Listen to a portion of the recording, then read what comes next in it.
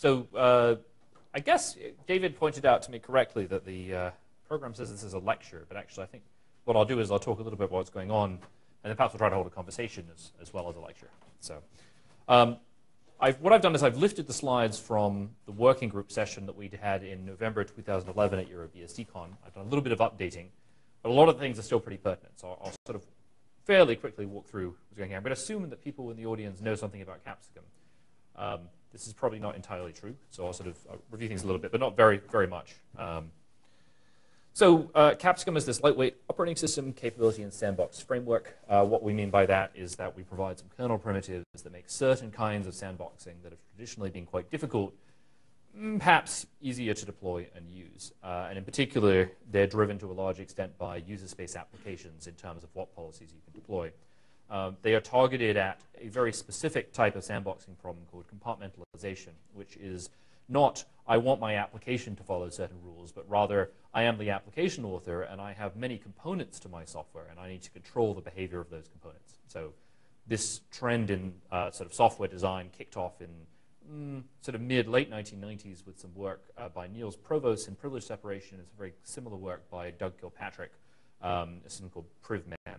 And if you look at SSHD, you get kind of the, the, classic example. You break it into two processes. One of them runs with lots of root privilege. The other runs with significantly less privilege. And that way, uh, when you have vulnerabilities, ideally, you've mitigated them by allowing the exploit only access to a limited set of privileges. So today, we call it application compartmentalization because we're referring to the compartmentalization of large-scale applications. We are interested in applications like Chromium and OpenOffice and so on, although most of the work to date has been done on smaller scale applications. Uh, you know, gzip and bzip and things like that. Things that uh, are, have particularly risky code pods exposed to untrustworthy data. And there are lots of dimensions and strategies you might use for breaking things up. We're interested in a lot of them. Um, and we're starting to deploy these techniques in FreeBSD. So we're using them to both displace compartmentalization already done uh, in the form of privilege separation and base system tools such as the DHCP client, but we're also adding compartmentalization to some things that traditionally have not had privilege separation in them. And gzip's a nice example. gzip doesn't run as root. It runs as whatever user you happen to be logged in as. It deals with uh, you know, potentially quite risky data downloaded from the big awful internet. Uh, and you're not interested in uh, you know, protecting the specific files from gzip. What you're interested in is enforcing the policy that gzip plays by the rules that it was written to. It can take the input from one file and send it to another file. So Capsicum provides facilities such as ephemeral sandboxing uh, without the use of privilege. Um, so this supplements uh, existing facilities in the system. The work was originally done in collaboration between Cambridge and Google. Uh, so Ben Laurie, Chris Kennaway at Google, uh, John Anderson, and myself at Cambridge. Uh, since then, quite a few other people have gotten involved. Uh, so Pavel has done quite a bit of work on daemons in the FreeBSD base as he's added them, um, adding Capsicum support to them. Uh, we also have Ilya Babkin, who was a Summer of Code student last year, uh, has been doing quite a lot of work looking at applications. We have some more folks at Cambridge and elsewhere who are interested in it. Uh, there's also some people at the University of Wisconsin who have tools to automatically apply you know, capsicumization to certain classes of applications, which is uh, quite an interesting project, quite researchy, but something we find pretty exciting. So I guess the big news since this talk was last given uh, in, at EuroBSDCon is that we now have some new funded work. Uh, so the FreeBSD Foundation and Google will be funding Pavel to do several months of work to provide software infrastructure, make it easier to adjust applications, provide sandbox libraries. So for example, uh, TLS, right? Lots of applications use TLS. We'd like to make it very easy for any application that uses TLS to automatically pull in a sandbox TLS library. So hopefully he'll have a chance to work through some of those. We might spend a couple of minutes brainstorming the kind of applications we'd like him to work on since he's going to have some time. But also, there's a framework around the construction of sandboxed applications that we did a prototype of at Cambridge, and I feel has always been one of the weaker parts of the work. That is, it worked, and it allowed us to explore it, but they weren't very mature APIs. And a question for upstreaming this work into FreeBSD is, you know, how can we ensure these APIs are maintainable in the long term? Right? How do we deal with the ABI issues associated with compartmentalization? So, uh, in November 2011, um, we sat down and we identified a bunch of areas we thought some work needed to be done. So one of the ones uh, highlighted by Pavel as part of his work with HAST um, was that certain kinds of operations were simply not permitted in sandboxes at all because we had trouble reasoning about whether they were safe in sandboxes, and IO control was kind of a classic example. And we came up with a, a straw man approach to addressing that. Right now, nothing's happened in the base with respect to that, but I think we actually have a kind of useful answer. And we identified some other services. A DNS, for example, supplements TLS quite nicely. It's the kind of thing you want to run from a sandbox application. So it has to be available to TCP dump running in a sandbox, but also you want to run it in its own sandbox. Um, there was also this kind of more general question, which is today uh, we start applications and they tend to launch sandboxes. And so the container application starts out with ambient privilege, the right to access everything in the system. And then you create these little boxes where unprivileged things happen. We'd rather start the application entirely unprivileged and then have you know, the runtime linker or application framework provide access to system resources through you know, selective upgrade of privilege. This is completely the inverse of what happens in classic privilege separation, where you say, I hold all privilege, now I'm going to distribute it. So that would be a nice thing to do. We also, in the original work, uh, we adjusted Chromium uh, to use Capsicum. This was collaborative work. Ben Laurie actually did the port of Chromium to FreeBSD to support this research. Um, and I know Chromium is now quite well maintained on FreeBSD, but I think it's this question about the status of the patches. Um, the people at Google are eager for us to upstream those patches. I have lots of interest in, in using them. Um, so it would be good to do that. I don't know if we have Rene in the audience, in fact. No, possibly not. So he's been maintaining, I think, the, the um, Chromium work. Um, libcapsicum, this is this library we'd like to replace with Pavel's new work. Uh, another thing we were interested in was what does the 9.1 agenda look like? In 9.0, we ship Capsicum as an experimental feature. The kernel features are there. They're not enabled by default in the kernel. In 9.1, we'd like to enable them. But everything we enable by default is something that we have to be very sure we got the APIs right on. Changing them later will be a real pain. So uh, some thought there. There were also a bunch of calls and bits of functionality that we felt was necessary. Um, so I'll sort of skip ahead. We'll talk briefly about uh, sort of the ioctl whitelisting concern uh, and some missing features. But the one I want to get to uh, is actually this one. And this has to do with this. At the time, we are referring to it as Capsicum Services Daemon. I think there's still some disagreement on what exactly we'll call this. In the world of Capsicum, applications are more than one process. Right? They consist of a set of processes that overall make up a logical application. So in a normal application, we have a runtime linker that finds all the components and it assembles them in a single address space. In Capsicum, we need runtime linkers for each address space. And what we actually want is some component that will assemble the whole application and make sure all the pieces are there. So notionally, that thing is also a runtime linker. It's just it's a multi-address space runtime linker. So we already have multi-address space runtime linkers. They're things like LaunchD in macOS 10, where services and components are launched on demand as required by linkage inside of sub-application. And we need something that resembles this, but we're not quite sure. Is it a system service? Is it a per login session service? Is it something that just, you know, an extension to the base RTLD that just happens to know about linking additional processes? You know, I, I think an open question. Um, we also have a bunch of services we want to offer. Ideally, this runtime linker has a component model, so you can plug in pieces of code that offer common things you're interested in, so TLS and DNS and, and all these other things. But file services and system monitoring, wouldn't it be nice if top was ran in a sandbox? Well, top has to use all these syscontrols to extract kernel state. So how is it going to get those working inside a sandbox that isn't allowed to name global system resources? Uh, and so on, right? lots and lots of things. Um, so this is something that I hope Pavel will address directly, but uh, we'll see. We'll talk about that in a moment. The other thing that we spent a few minutes on in November is brainstorming lots of things that we thought deserved some sandboxing. And they were everything from system mount daemons that have had vulnerabilities in the past to third-party applications that are quite sizable, right? So KDE, we'd love to run lots and lots of parts of KDE in sandboxes. We don't want a global system policy for how KDE should behave. I think that would be silly, right? You don't know how the web browser bits of KDE will behave until you started clicking on links. On the other hand, we also know that KDE links against a lot of very risky code. Um, happily, KDE comes with these IO slaves, which are nicely already running in separate processes, components that might lend themselves to, uh, to being wrapped up in sandboxes. So yeah, and I think I'm very careful to say that we, we want to take responsibility for doing this to FreeBSD code, but we want to encourage people to do it to non-FreeBSD code. Uh, and certainly Caps, uh, so Chromium was a nice example of that.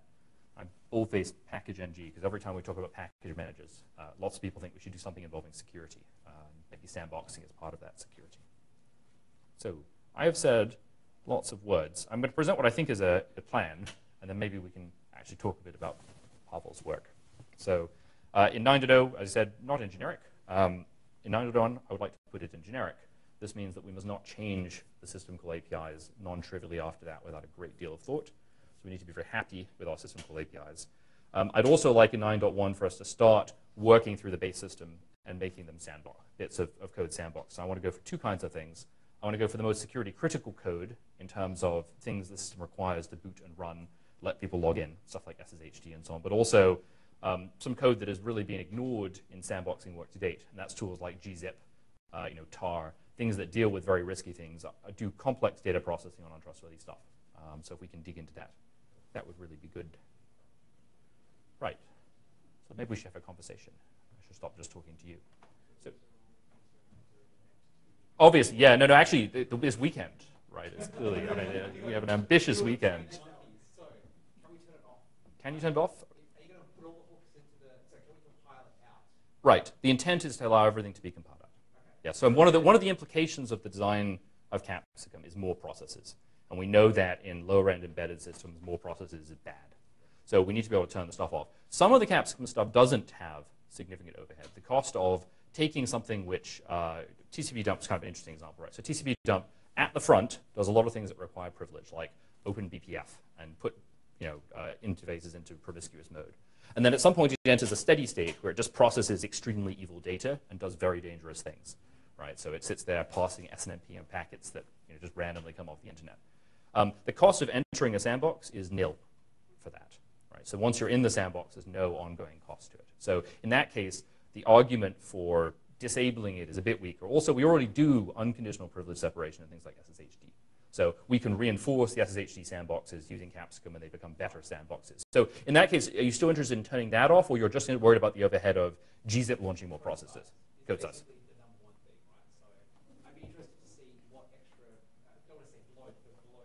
Yeah, bloat, sure. Yeah, I understand. I feel that way about 802.11 as well, so you know, it's good. Uh, no, I agree. Uh, modularity is good. We like modularity, and right now, everything about Capsicum is conditionally compiled.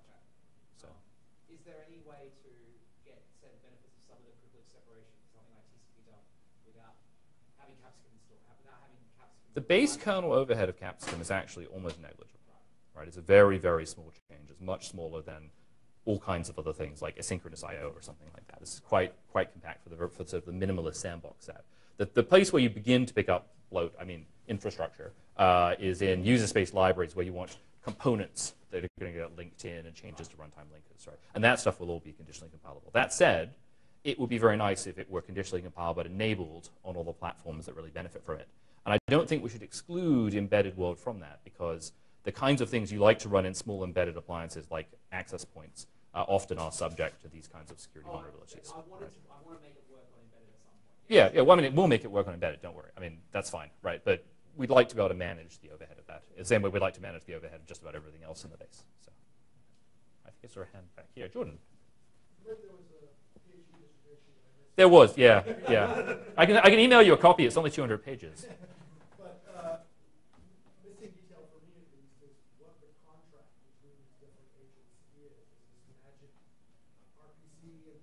Yeah, so that's a good question.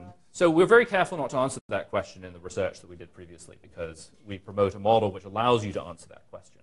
Um, but more generally, if you look at Mac OS 10 as a reference, right, uh, it, the mechanisms that are here are very similar in some ways to some of the work that's done with Mach ports, which implies MIG and a lot of other stuff on top of it. I don't, well, MIG and, yeah, yeah, whatever you want to call it this week. So, uh, but an RPC generator, effectively, right?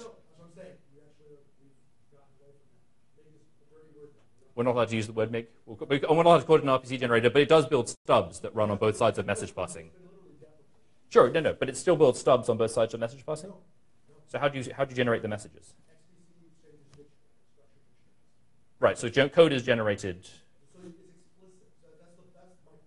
So you're saying you're shifting away from RPC towards explicit message passing?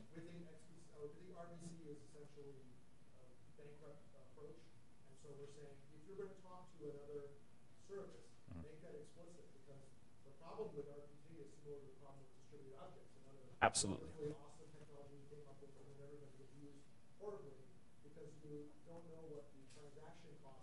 Right. So yeah. So the, ma the masking of distributed systems properties in a distributed system causes problems with respect to failure modes and reliability and performance and transparency and debuggability and blah, blah, blah, yeah. So right now in Capsicum everything is explicit, right? But we don't. What we haven't done, in part because a moderate amount of the work was to adapt existing privilege separated applications, is adopt a framework for generalized message passing for representation of stuff, right? And I assume this is something that XPC does help solve by saying, I help you bundle up your information in a way that allows you to communicate it effectively, right? So we haven't explicitly adopted something there in large part because all the applications we work with really had it already. Especially Chromium is a perfect example of an application that wants your solution. It has at least a dozen handcrafted you know, message passing mechanisms with fill out structures and send them back and forth. And we keep prodding the Google people and they keep saying, we know it's a problem. So, uh, so I don't want to repeat their answer, right? It is an exercise left to read today. So Ben Laurie has a prototype uh, generator that helps bundle things up with a bit of help from, uh, you know, here's what my message is. Uh, the message, here's what my API is, right? Help me build things and build the data structures and so on. And it required a bit of changing compared to traditional RPC stuff, not just because it's not RPC, because it doesn't do the, the language bindings, but also because the kind of things we want to pass around are a little different, right? We want to pass around references to objects and that kind of. So I think you can, the structural comparison you're making is entirely right. right. And maybe, maybe XPC is the solution that we should be using. I don't know. We can certainly talk about that.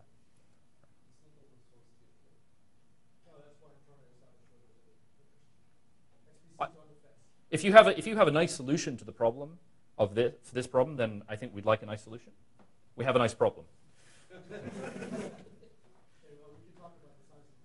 yeah, I mean, you know, something compact, small, C-friendly, right, uh, able to deal with ABI differences, and I guess that's probably part of your problem space as well, right? I mean, if we're running a 32-bit thing in a sandbox, why should it not be able to talk to a 64-bit service, right? And I assume that's in your I mean, I think there's a very nice comparison mentioned earlier to be made between LaunchD and Friends and what you might effectively think of as a multi-process linker, right? I mean, they, they solve the same problem, but at a slightly different scale.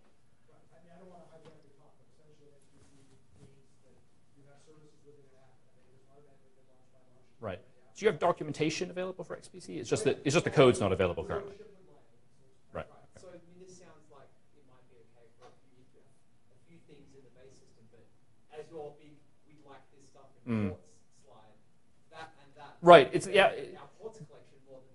well, right. So I mean, it's not quite as much so as libdispatch. Right. Right. So the case with libdispatch was uh, there's almost nothing in the base system that uses threads heavily, and so the argument for shifting away from threads to a more mature dispatch model is is weakened by the fact there's just not that much to convert, right? Whereas in the base system, we actually have a lot of components that would benefit from compartmentalization because we have many system management tools that deal with things. I mean, look at uh, FreeBSD update, right? FreeBSD update goes out and maybe it downloads things using HTTPS and they're compressed and then it's going to do binary updates and it's going to validate signatures and it's going to do certificate. I mean, you know, the chain of vulnerabilities that it can exist in that pipeline is truly impressive and almost all of them have been exploitable. So you know, that kind of thing really would lend itself to a solution that says, I have modular services. Right? So, there, there is a nice base system application to had. I, I, agree that the really interesting problem is monolithic applications. To make a comparison to microkernels, and you know, it's sort of bad word, but you know, effectively what we're doing is promoting the microkernel model. We're saying you're going to start decomposing and linking using message passing. That means you have to be aware of the cost, and some of the some of the costs are not just performance costs, but debuggability costs. Right? I mean, you know, you're turning things into little distributed systems, which we know is a, a painful and bad thing to do when you don't have to. Um, but on the other hand, we've counted the number of lines of code in the, you know, the FreeBSD kernel, right, sort of a few million lines, four million lines, depends on what you count, right? And then we counted the number of lines of code in Chromium, and we thought, oh, there's four million to start with, and then there's another two million lines here. A very comparable scale of project.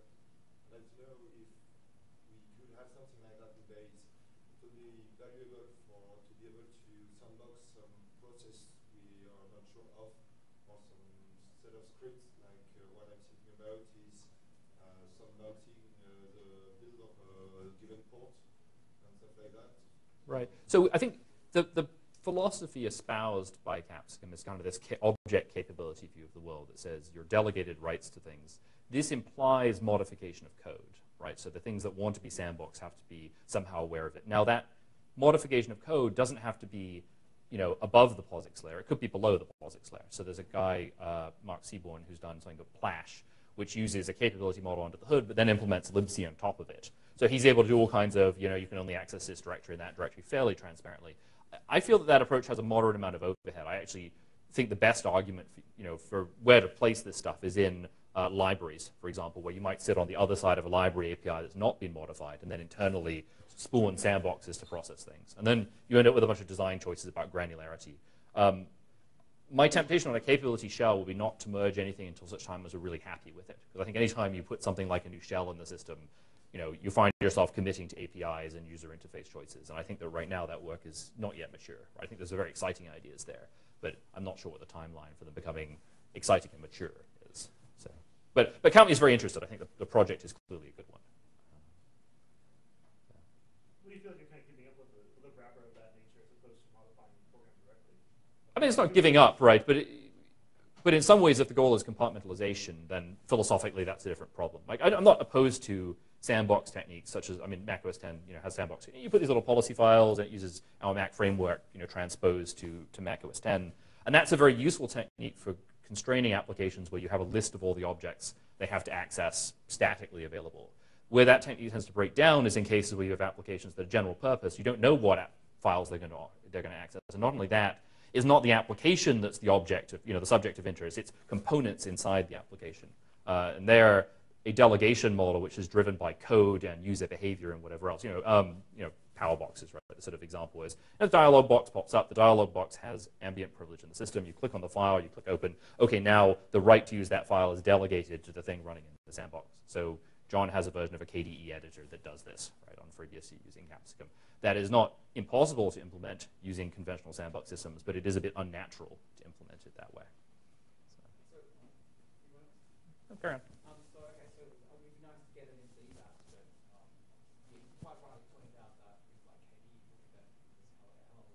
Well, they benefit a lot more because they're really pretty vulnerability prone, large, scary things, right? That already come with, in particular, KDE is interesting because it already is object oriented, right? And you can kind of see in the background behind all this, you know, a gesture in the direction of object oriented programming.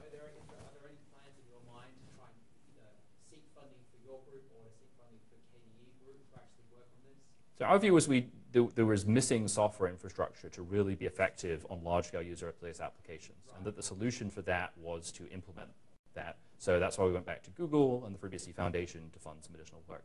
I think once Pavel's done his work, we're in a very strong place to start investigating things to do on a larger scale. Another thing that would really help is wider adoption of the Capsicum APIs in other operating systems, and there are ongoing conversations in a number of communities about what might happen there. Certainly, you know, Google has been very supportive of this project and would be interested in seeing the technology used more. So, and, and, and, and Jordan's sitting in the back of the room, so we can chat with him later. But, you know. Right, but it is, but it is interesting, right? I mean, in KDE, if they use lib, libjpeg, and our libjpeg has cute sandboxy stuff inside of it transparently, KDE benefits without actually being modified, right? And there is some interesting things you have to do to the process model to make that the case right? If, if your libraries are going to launch processes, you know, the Unix signal and, you know, sigchild and so on get awkward, right? So that's why we have to have new primitives to allow us to solve that problem. Uh, we don't want to talk about Multics here because we like Multics and we're not allowed to say that.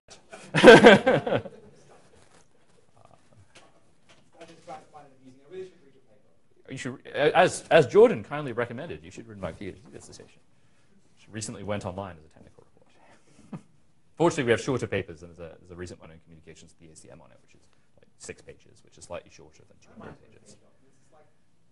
It's probably, yeah, and you can use it later for other things too. Um, yeah. Uh, okay, and it's, it's, better than the 8211 spec.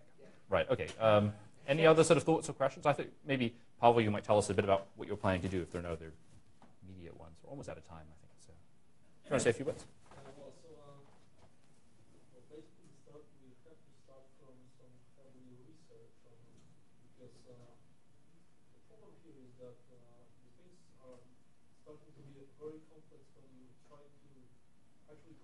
program which basically calls functions to program which has to pass messages, wait for answers, and uh, basically you can, uh, TSL is actually a very good example because uh, uh, without this, this D I was talking about uh, earlier, uh, you want to sample TLS uh, because of course uh, there is a lot of uh, uh, bugs in open, OpenSSL and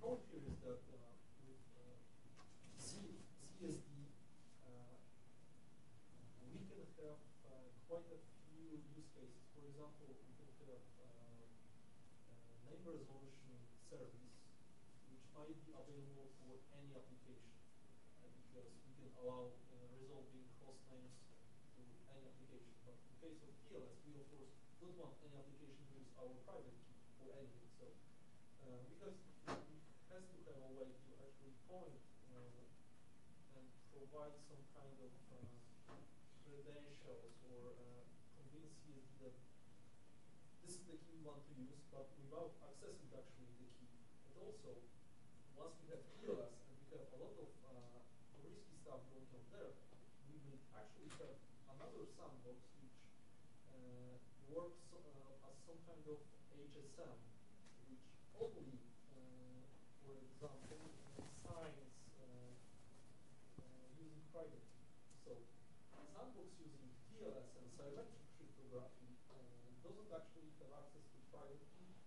And there is another sandbox which can only do basic stuff like uh, uh, signing, uh, signing, and it all gets really, really complex. And if you if you also consider the complexity of OpenSSL itself, it's getting even more complex. So Right. I mean, there's a moderate argument that the OpenSSL API was never designed for this. And therefore, you find yourself wanting to create a new API for crypto that it does align with the model better. I think I, I guess I, might end up doing exactly that. Hmm. Because, So, one of the problems having been coming from a network app point of view versus a desktop app, right, is Squiddle handled a few thousand SSL requests a second, where it may have to, it, it may be generating keys just as much, as just for, for uh, just as much as checking keys. And last thing I, we want to see in a network app that's already doing asynchronous select IO is we go into the OpenSSL code, and then that gets oh, absolutely. Right. I mean, but there's a, there's a, there's a the part of the problem though is that there's a selection of trade-off points, right? Where you're trying to balance mitigation of vulnerabilities you know about or vulnerabilities you don't know about against performance.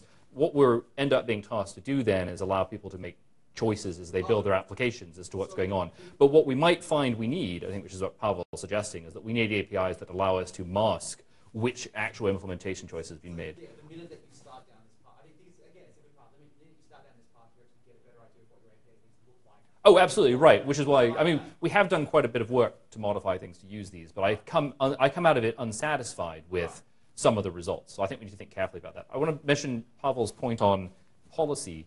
One of the nice things about approach like Capsicum is you start with the assumption that no one has the rights to anything, and therefore you now need to build up a set of rights which various components have. A traditional way to do this would be to say uh, we have endpoints, you know, IPC endpoints that refer to objects or sessions and therefore we only delegate those to people who are allowed to have them. We would never perhaps delegate rights to use the key, the private key, outside, and we'd have a consumer endpoint which allows requests to come in, but we'd never, you know, actually accept a request to reveal the private key from one that was only supposed to go to sandboxes that aren't supposed to get it. Right? That's how you'd build up. If you, if, if to make a slightly awkward comparison to Java, right? If you have a bunch of Java classes and objects and so on, you wouldn't pass in a reference to your private key to a piece of sandbox code that's not supposed to use it.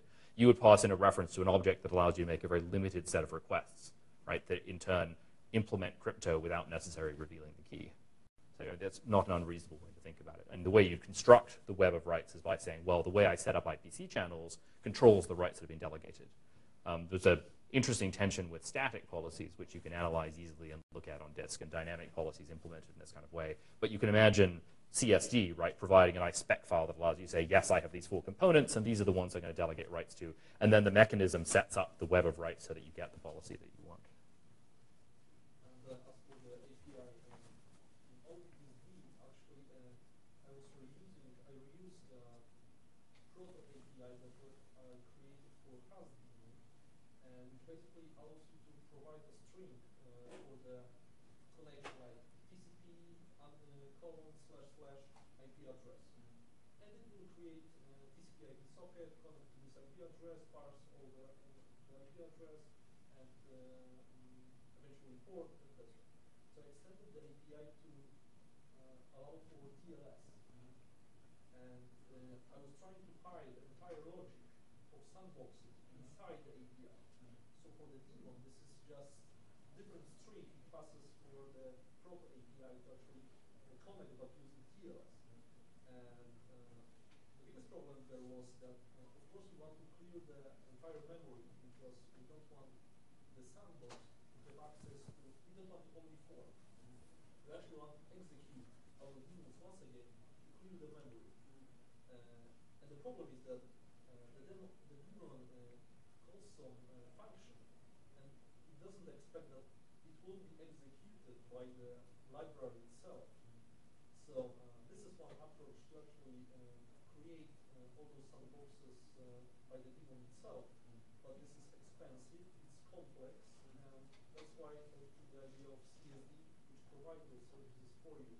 But uh, of course, uh, I mean, the, one of the benefits, I mean, one of the reasons why you also end up with design choices like LaunchD and Mac OS 10 is that you don't want random things forking and producing new processes that have very limited functionality. So the best example in Mac OS 10 was uh, the Windows server forking and execing uh, applications on application start. You know, you take your Windows server with a billion memory mappings for different windows and things, you fork the whole thing, replicating the entire address space, which you then immediately throw away so that you can go and exec bin sh, right? And that is a kind of structure you'd like to avoid. Uh, CSD does address that, but there's also a set of design choices there. You don't eliminate certain costs, and you pretty quickly end up with um, like the Zygote idea they have in Chromium, where they say, well, you know, if we're going to be creating lots of these sandboxes and they're all going to taste the same, or like the one that goes in KDE, right? They keep around pools of worker processes as templates for services that they need to create on demand to mitigate runtime linking costs and initialization costs and all this stuff. So you get forced down that avenue of design choices.